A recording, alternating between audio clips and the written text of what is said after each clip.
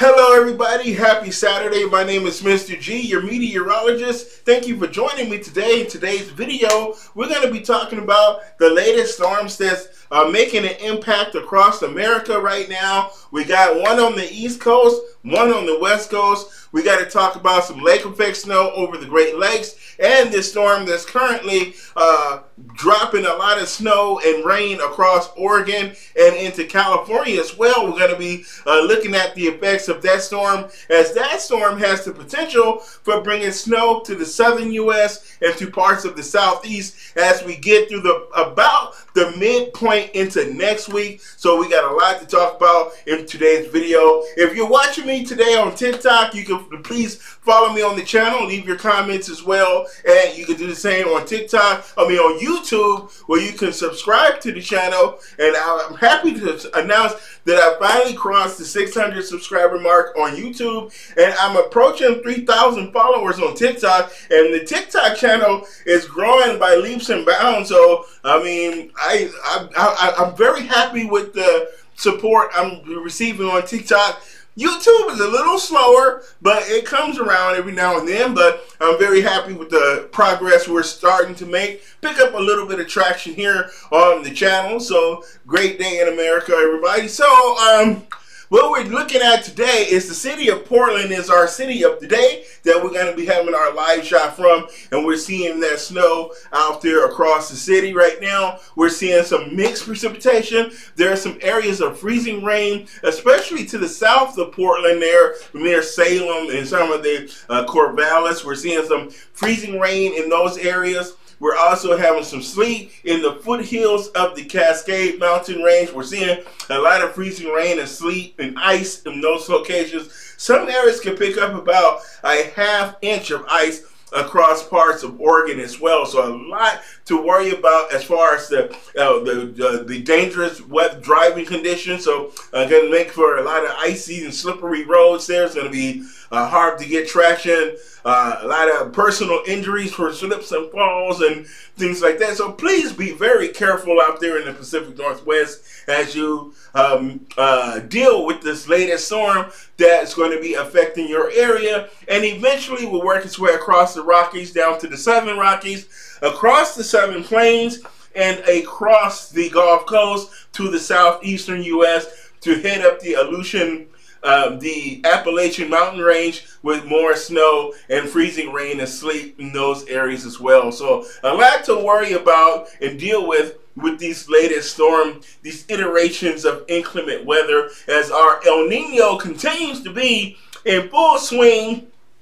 But however, its days are numbered because based on some of the latest computer projections, computer models, uh, El Nino might begin to wane sometime in April or May, and we could see transition to ENSO neutral and possibly La Nina. Boy, La Nina has been very persistent. We've dealt with the La Nina the last two to three winters and uh, maybe one season of El Nino. Now, you can definitely tell the climate change because when La Nina and El Nino first came into my my uh, sphere of knowledge, there was seven year cycles between the two. We would have a seven year in between uh, El Nino, seven years between La Nina. So sometimes you can have 14 year swing from La Nina to El Nino. You would spend one season under El Nino, then seven years ENSO neutral, then after seven years La Nina, and then it would go back and forth. Now it just seems like it's just a, a spinning wheel, La Nina to El Nino, La Nina to El Nino, just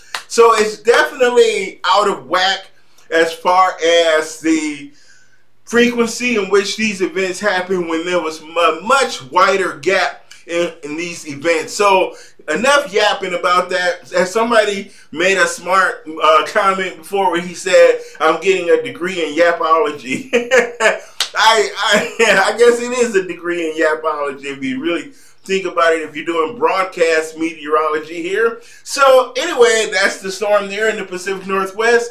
And let's take a look at the uh, lake effect snow across the Great Lakes right now, where places like Buffalo is gonna is picking up a record snowfall with up to four feet of lake effect snow over their area. And later on in the video, we're going to take a closer look at what creates that lake effect snow. So let's jump into our radar and take a look at the Great Lakes and the lake effect snow across that area right now.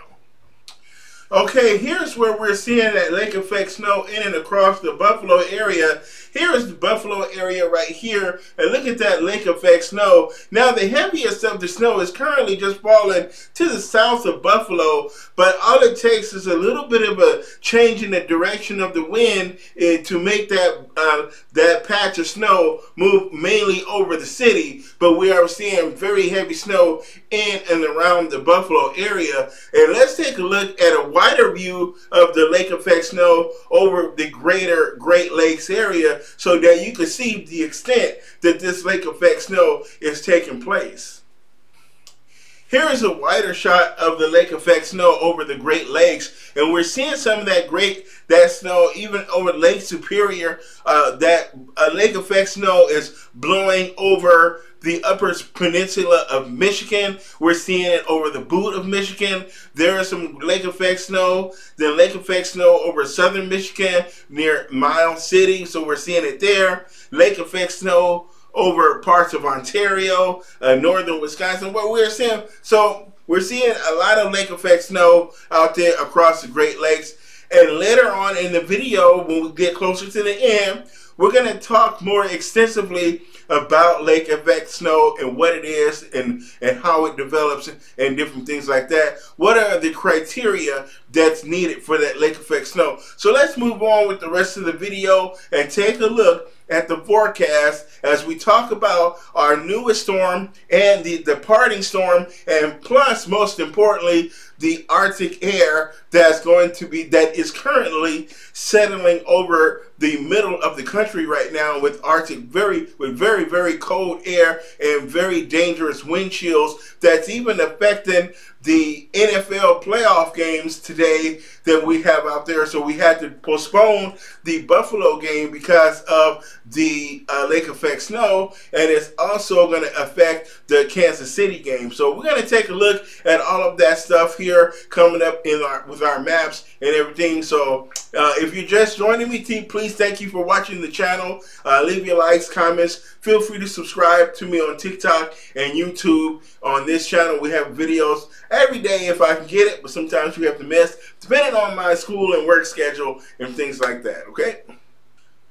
Okay, so let's move on with the rest of the weather forecast and talk about what's going on for the rest of the country that we've taken a good look at the Great Lakes and the lake effect snow. Here is a look at the current radar situation where we're seeing that lake effect snow. And some of this is snow related to the, part, the departing storm system that brought all of that heavy snow over the Midwest yesterday and the severe weather down along the Gulf Coast and in the South and the wintry weather over the Appalachians and all of the rain along the East Coast as well. So that's that departing system right there. We're seeing that lake effect snow across the Great Lakes still to this um, day.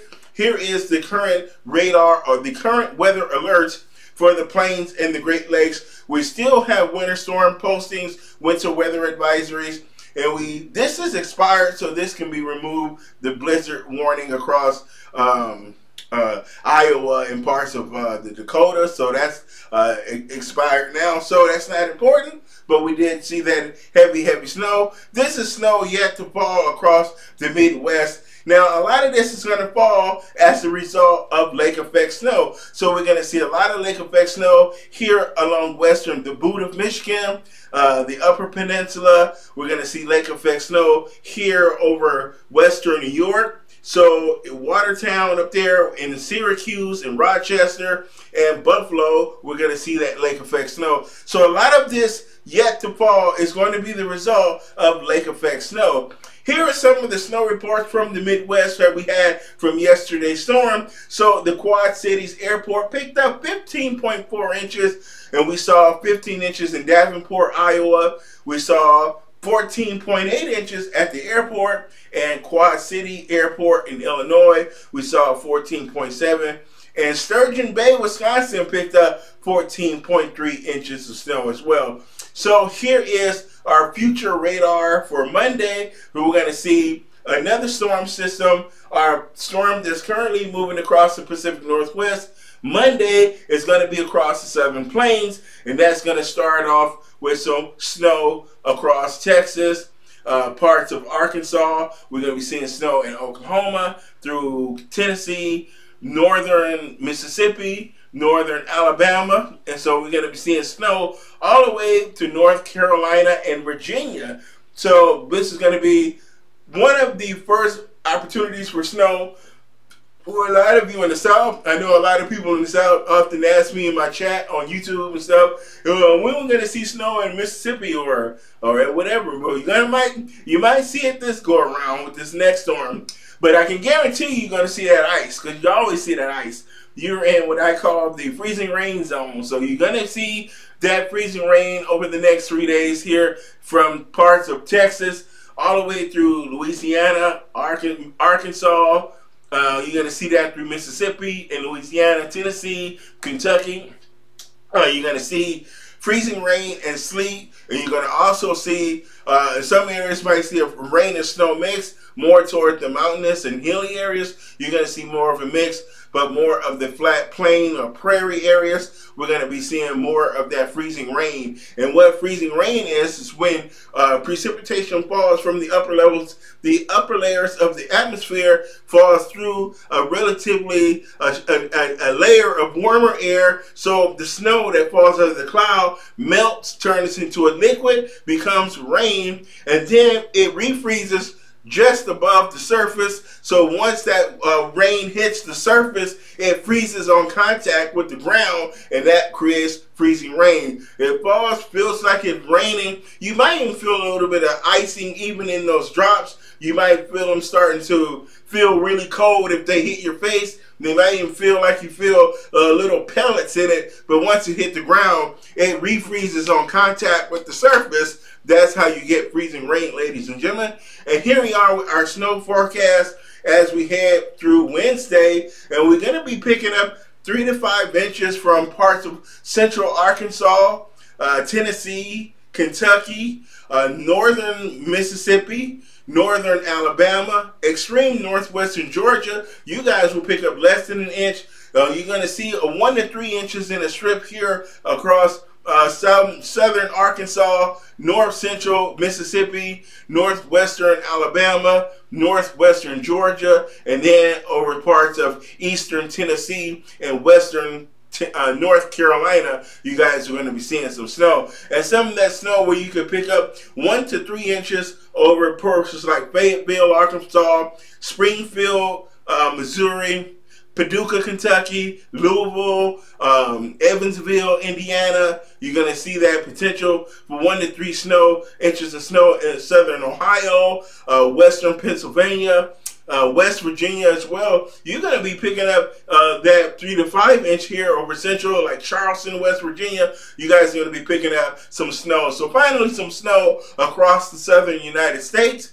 And we're going to be seeing that storm system bring rain to the east of that low pressure. So heavy rain out over the Atlantic but snow over the interior, over the land. And you could even see snow in Boston. We might be able to finally pick up a little bit of snow in New York City, Washington, D.C., even as far south as Raleigh, North Carolina. But we're definitely going to be seeing that snow over the Appalachian Mountains. So down through central and western North Carolina, eastern Tennessee, the eastern half of Kentucky, uh, all of Virginia, West Virginia, eastern Ohio, Pennsylvania, New York. We're going to be seeing that heavy snow from this storm. Not necessarily heavy snow, but you're going to pick up some snow from this storm system. This is our current storm that's over the Pacific Northwest. By the time we get through uh, Wednesday morning next week, that storm system is going to be basically like a nor'easter off the coast of the Northeast. So we have the polar vortex is back again. Once again, this happens every year, folks. I, this is not new to you. This is not a surprise. It's going to be cold out there. Very, very cold across the plains is where it's going to start. And we're going to be seeing that this morning. We saw those morning lows out there in the 20s, negative 20s across North and South Dakota and through parts of Montana. Wyoming, we saw those lows in the negative 20s. We saw the temperatures still above zero in Minnesota as these as far as southern and eastern Minnesota, the Twin Cities. We had a high this morning of 7 degrees here in Minneapolis. It was zero in Des Moines and 3 down in Kansas City. So that cold air is definitely making its way into the country and further down to the south. So tomorrow morning, expect that cold to be even a little bit further entrenched across the central United States. Well, we're going to see a morning low of minus 7 here in Minneapolis, minus 16 in Des Moines, minus 10 in Kansas City, 2 degrees above down in Tulsa, Oklahoma, and we're going to be seeing those temperatures in the minus 20s across the Dakota, so North and South Dakota. Same thing for you, Montana and Wyoming. We're going to see those temperatures on the leeward side of the Rockies in the negatives, 20s, okay? Uh, still above zero across the western slopes of the Rockies. So Salt Lake City and Boise, you guys are going to still be okay. Nice, not bad in Salt Lake City with a morning low of 32 degrees. Not bad. That's not bad, all things considered. Here we are as we look at Monday morning on Martin Luther King Day. I don't have work. My wife is off. We're government employees, so we don't have to worry about working on uh, Martin Luther King Day. So, um, and here is those cold temperatures for your morning lows on Monday. Again, that minus 11 in Fargo. You're going to be a negative in the single digits below zero in places like Chicago, Kansas City, and even here in the Twin Cities, we're going to be in the teens below zero on Monday morning here across the Twin Cities. And we're going to be seeing those teen below zeros across North Dakota. But Nebraska, we're going to be in the single digits below zero across North Nebraska and Kansas. The same thing for you in Colorado and parts of Wyoming the uh, the 20s in the you're going to be in the negative 20s over western Montana, but we're going to still be nice in Salt Lake City and the western slopes in Utah of the Rockies and Nevada, and even we're to see the mornings in the lower 30s. So not bad over there. But the cold is to spread further south and east as we move more through the week. Tuesday morning, negative 5 in the morning in Minneapolis. That's not the worst we've seen. We can see here 30 below and 40 and even 60 below. Um, this is a a mild. Uh, this is actually a a fairly mild uh, polar vortex this time. It's fighting those El Nino effects. So even though we're seeing a polar vortex, it's being moderated a lot by the effects of El Nino. So this is not the worst it could be. I know some of the other media outlets, oh, this is uh, like they've never seen this before. Trust me, you're getting a deal on this polar outbreak. This is all things considered. This this is nothing. We can we can you ride right through this one. It's going to be short lived anyway. I can tell you by the time we get to the end of the month here in the next couple of weeks or so, that last week of January here in the Twin Cities, we're going to be looking at highs in the 40s. So uh, take your blessings. Just take your blessings with an El Nino as far as the warmer temperatures, because next winter promises to be La Nina, and you are probably not gonna like La Nina winter. That's not gonna be fun unless you're in the Southwest. In the West Coast, it's gonna be warmer and drier, but if you are in the Midwest, the Central U.S. and the East Coast, you're gonna be colder and wetter. That's the snow comes back next winter. We have if it pans out that we have a La Nina next winter, but based on the models, that it's a possibility that La Nina is gonna rear its ugly head around next year. So here we are, your forecast wind chills for tomorrow morning.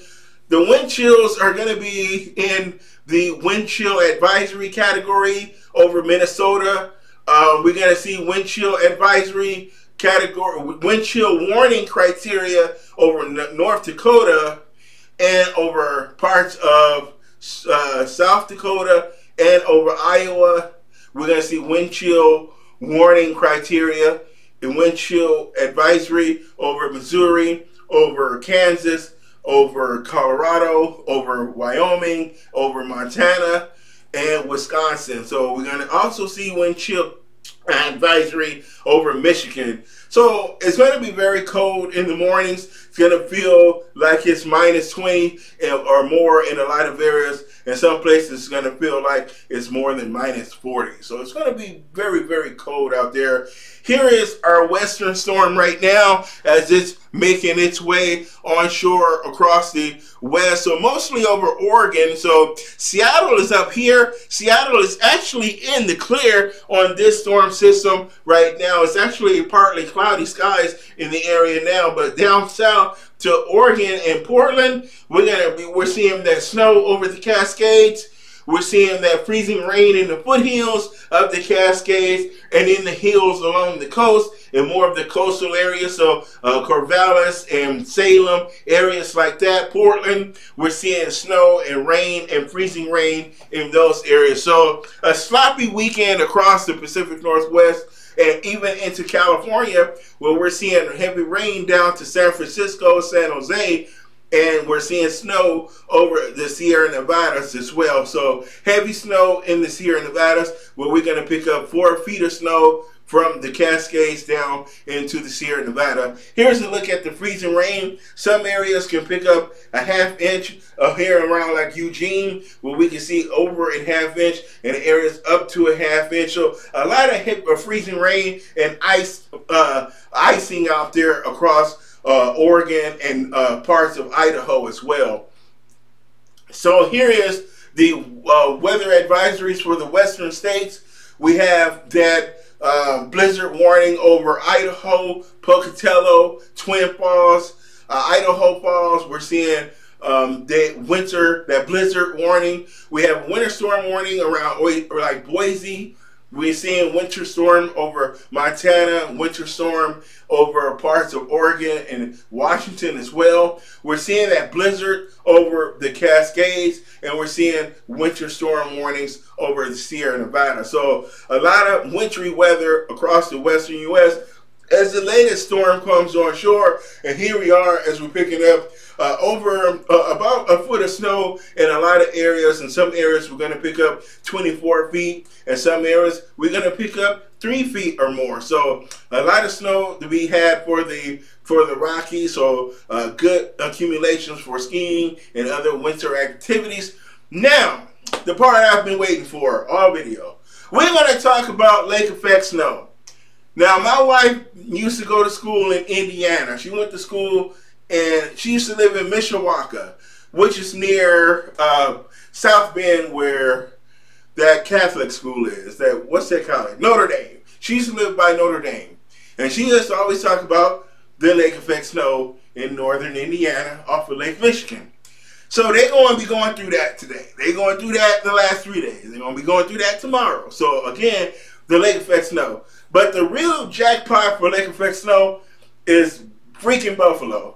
Buffalo gets beat over the head with lake effect snow. So, so this current bout of lake effect snow, the winds are blowing just right across the lakes right now that is picking up that warmer air over the lake, blowing the cold air off of the land on the other side of the lake. So we're talking about the landmass over Ohio and Michigan the air is blowing from the west across that land where it's cold. It's already snow on the ground. So it's really cold air blowing across that landmass to the water, Lake Erie, where it's warmer. The lakes are warmer than the land.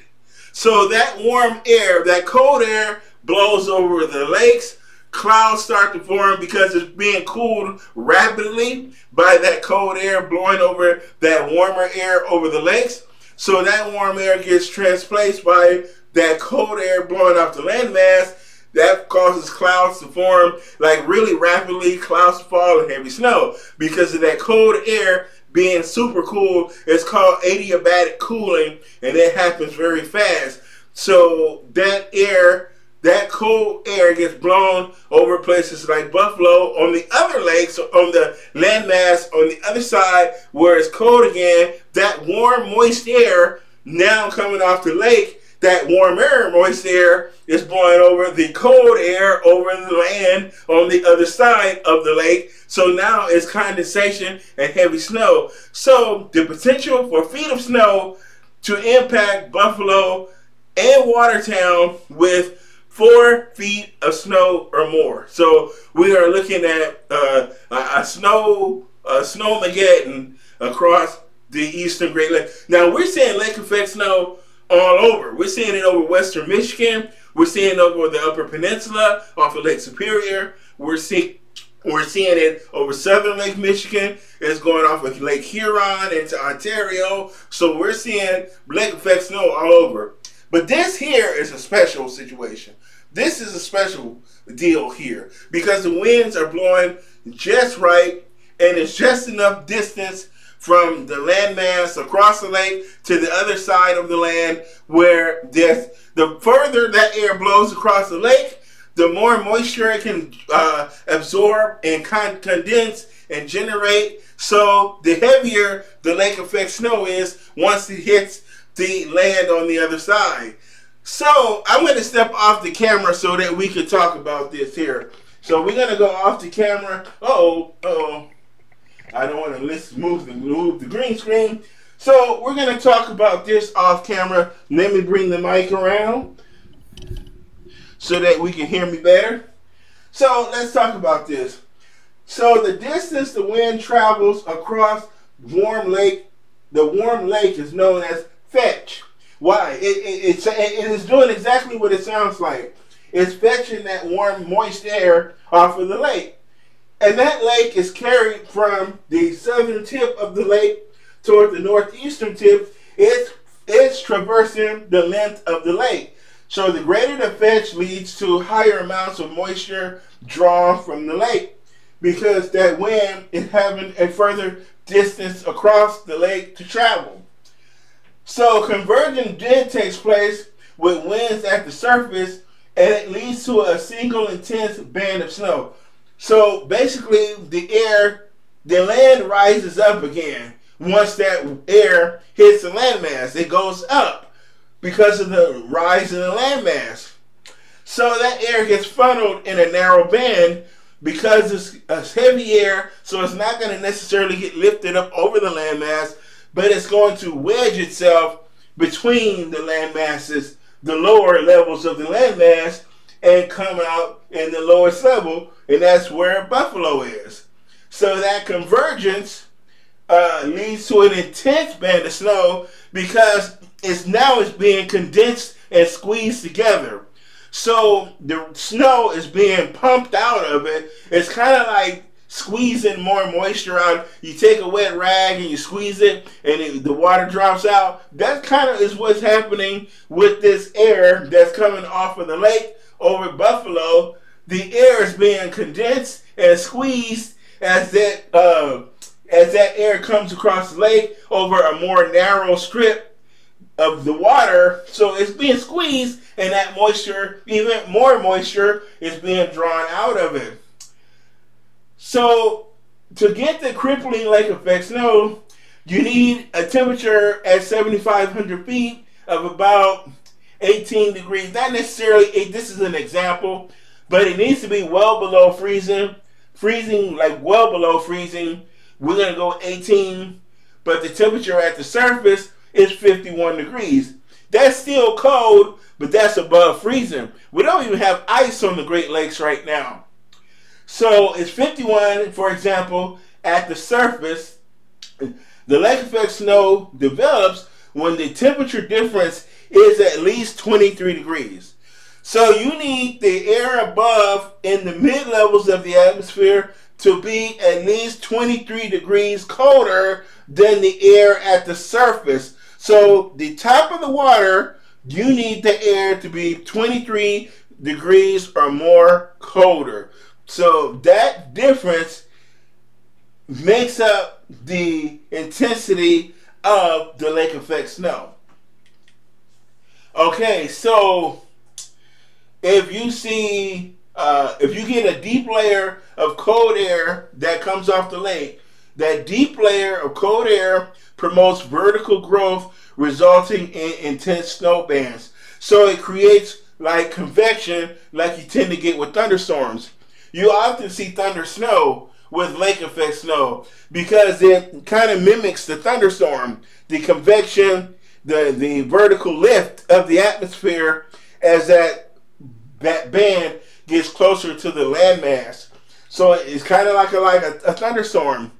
And you need a lot of moisture in the mid levels of the atmosphere. So if you say 10,000 feet, the air is completely saturated at 100%. But the saturation drops off a little bit and when you drop to 5,000 feet and when you get down to the surface, you get that drying. You This is part of the reason why we didn't get much snow in the Twin Cities yesterday because the atmosphere did not have enough saturation compared to the upper levels. The upper levels of the atmosphere, it snowed, but the lower level of the atmosphere was dry. So that snow evaporated before it hit the ground. So we didn't get any snow from that storm. You could say we didn't even get an inch. We got a dusting. The snow we got was very dry, very low moisture. The wind blows and it just blew all over the place and blows away. That's what we got.